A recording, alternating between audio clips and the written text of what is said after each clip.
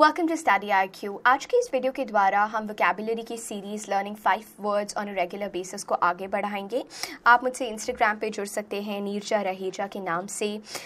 Commencing with the first word of the day mutatus mutandis. Mutatus mutandis का अर्थ होता है अगर हम हिंदी में सिंपली बोलें तो को किसी भी तरह का आवश्यक परिवर्तन परिवर्तन सहित सो so, आवश्यक परिवर्तन सहित या कोई भी उचित परिवर्तन सहित that is called mutatis mutandis मतलब कोई भी चीज़ which had to be changed is changed anything which wanted some sort of a change alteration modification आप उस चीज़ को चेंज कर देते हैं.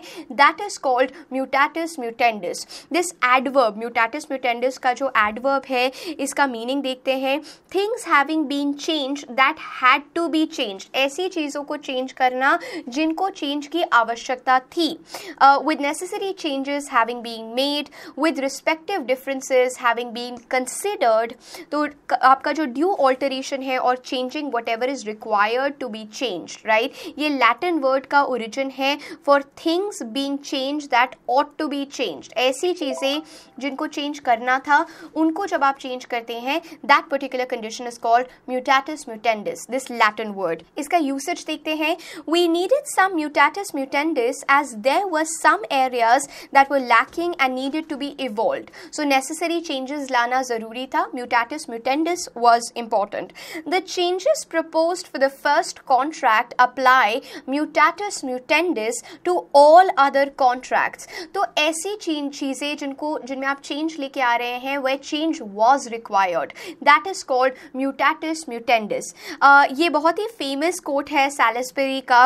We can we can in fact only define a weed mutatis mutandis in terms of the well known definition of dirt as matter out of place what we call a weed is in fact merely a plant growing where we do not want it so ये बहुत ही famous quotation है about mutatis mutandis is. Coming on to the second word of the day, shilly shally. Shilly shally का जो अर्थ है ये काफ़ी सिमिलर है आपका डिली डैली से या विशी वॉशी से आ, कई बार जब हम लोग आ, सोचते हैं और दो तीन बार अपने आप से पूछते हैं कि क्या मैं वहाँ जाऊँ क्या मैं वहाँ जाऊँ दो तीन बार अगर हम सेम क्वेश्चन पूछ रहे हैं that means we are not sure that means we are not decisive हम लोग एक डिसीज़न नहीं ले पा रहे हैं हम लोग एक रेजोल्यूशन नहीं ले पा रहे हैं और इस पर्टिकुलर सिनेरियो को जहाँ पर there is a layer of indecisiveness, we are not able to take a proper decision. There's a layer of indecisiveness. उस पर्टिकुलर सिनेरियो को हम शिली शैली बोलते हैं, जिस तरह से आप डिली डैली या विशी वॉशी का भी प्रयोग करते हैं।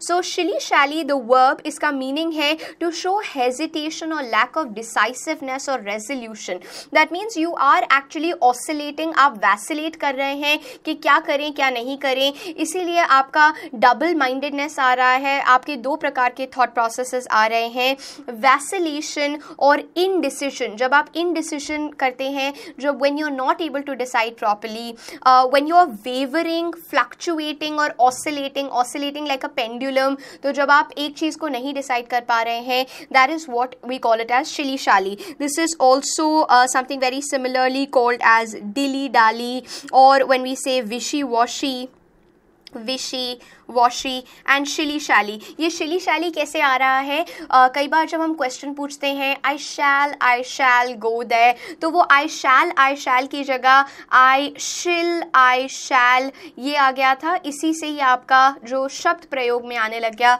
वो था shilly shally meaning when you oscillating when you are not able to come at a proper decision जब आप हेजिटेट हो रहे हेजिटेट कर रहे हैं to come at a proper resolution let's look at the usage of shilly shally don't shilly shally as the seasons for mangoes is fleeting तो shilly shally you shouldn't actually be indecisive आप एकदम ऐसा नहीं है कि doubt में हैं एक तरह का ऑसिलेशन कर रहे हैं यू शुड बी डिसाइसिव क्योंकि ये जो सीज़न है आम का that is fleeting that is temporary ये क्या है this this season is fleeting officials should not shilly shally with economic and social reforms so जो officials हैं they should be proper with their decisions they should be absolutely resolute उनको oscillate नहीं करना चाहिए. They should be firm decisive and resolute तो यहाँ पर shilly shally when you are not able to decide that is called shilly. Shally ये काफ़ी famous एक पर्टिकुलर uh, पेनिंग था मीनिंग का शिली शैली टू वैसिलेट 1782 में लिखा गया था।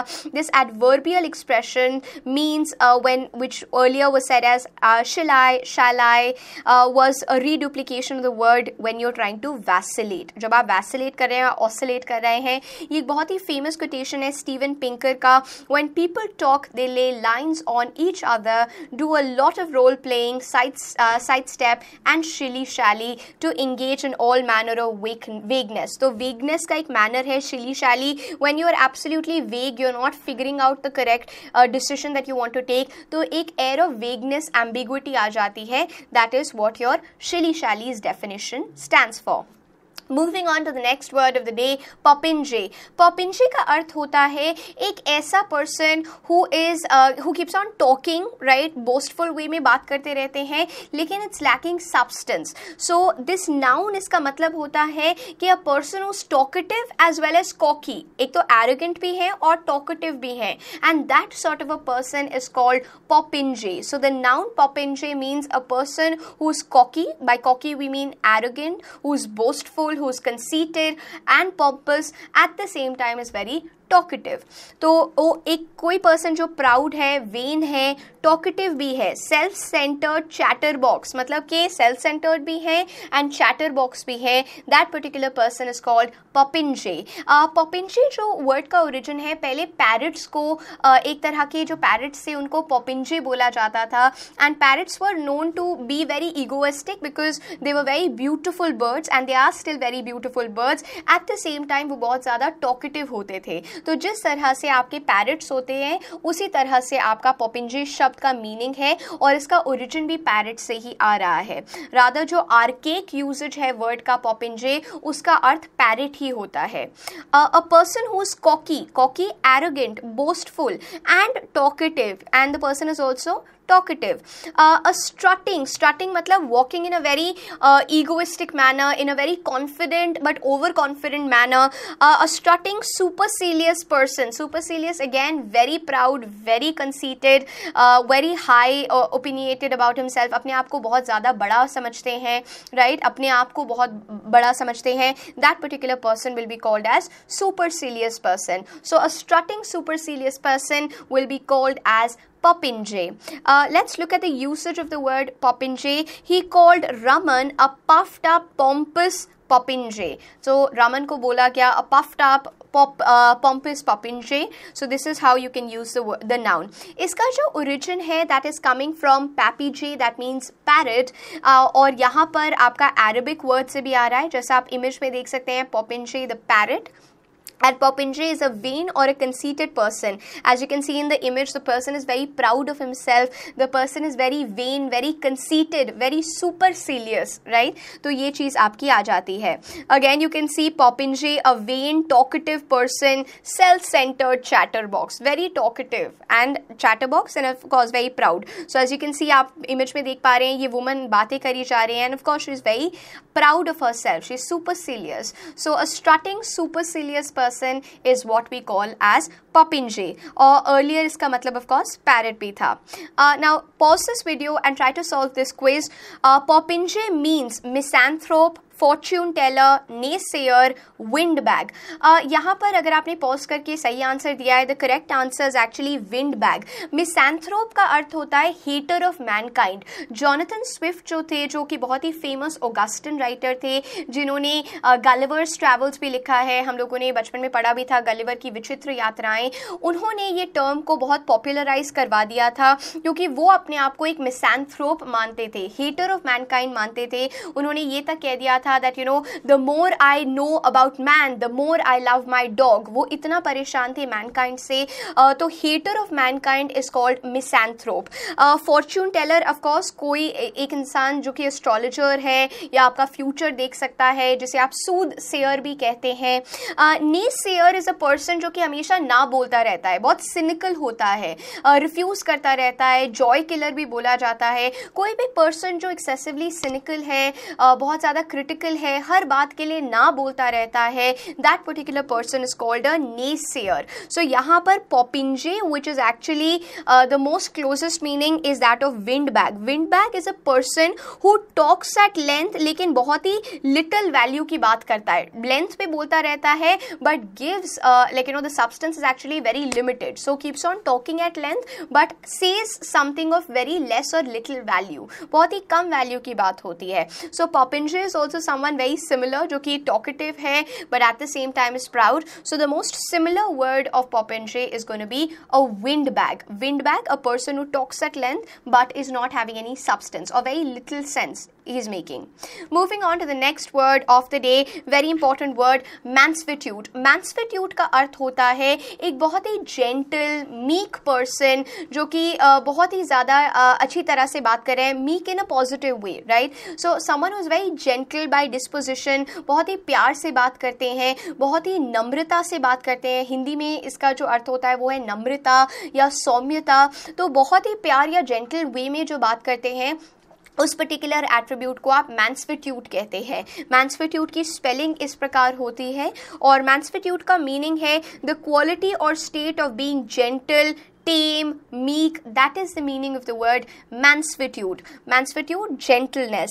Let's look at the usage. They answered him with mansfitude and reverence. उन्होंने उनको आंसर किया with mansuetude that means gentility and reverence reverence मतलब कि बहुत ही आदर और सम्मान से बात की however later he smelled a fox in sheep's clothing मतलब वो लोग जो प्यार से बात कर रहे थे मैंसफिट्यूड से बात कर रहे थे जेंटल वे में बात कर रहे थे बाद में उस व्यक्ति को पता चला कि there was actually a fox in the clothing of a sheep मतलब कि कोई और उनके अल्टीरियर पर्पसेस थे और उनके बुरे इरादे थे जिसकी वजह से वो मैंसफिट्यूड और जेंटिलिटी के साथ बात कर रहे थे। मैंसफिट्यूड uh, जो है जैसा आप ये पिक्चर में देख सकते हैं person being very meek very gentle in the image the quality और स्टेट ऑफ़ बींग जेंटल और मीक ये जो लेट मिडिल इंग्लिश है यहाँ पर से वर्ड आया था ओल्ड फ्रेंच और लैटन से जहाँ पर आपका अर्थ हो जाता है जेंटल या टेम सो मैनस इज़ हैंड एंड स्टिट्यूड इज़ अकस्टम्ड सो जेंटिलिटी को जो अकस्टम्ड है a person who has the quality और स्टेट ऑफ़ बींग जेंटल और meek let's look at the caricature also which tells us more about the term mansfitude. Why don't you take off that mask of mansfitude and admit you are a swindler? So mansfitude, mildness, gentleness, meekness, tameness, जैसे आप देख रहे हैं, इसको pronounce करते हैं mansfitude. मैंसवीट्यूट मैंसवीट्यूट आप लिखते ऐसे हैं, लेकिन प्रोनाउंस आप करेंगे मैंसवीट्यूट की तरह। Of course some of the synonyms of mansuetude are gonna be gentleness tenderness compassion kindness, sympathy, mildness, sweetness. All these are going to be synonyms of mansuetude.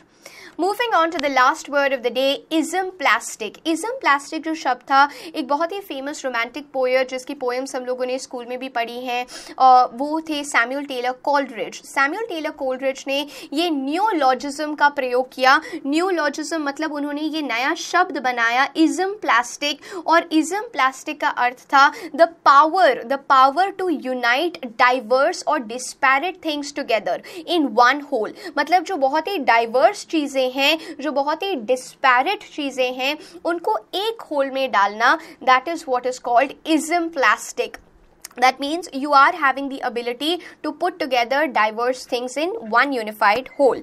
Let's look at the meaning. Molding into one unifying shaping or having the power to shape disparate disparate matlab alag alag cheeze disparate things into a unified whole or the quality to shape diverse elements into a whole. Let's look at the usage. According to coleridge imagination has an ism plastic power एक और देखते हैं। The esemplastic power of poetic imagination is praised by all alike so यहाँ पर आप देख रहे हैं किस प्रकार से हम इजम प्लास्टिक का प्रयोग कर रहे हैं। Moving on to the quiz of the day आप वीडियो को पॉज करके इसे सॉल्व करने की कोशिश कर सकते हैं। सोल्यूशन आप इंस्टाग्राम पेज से ले सकते हैं।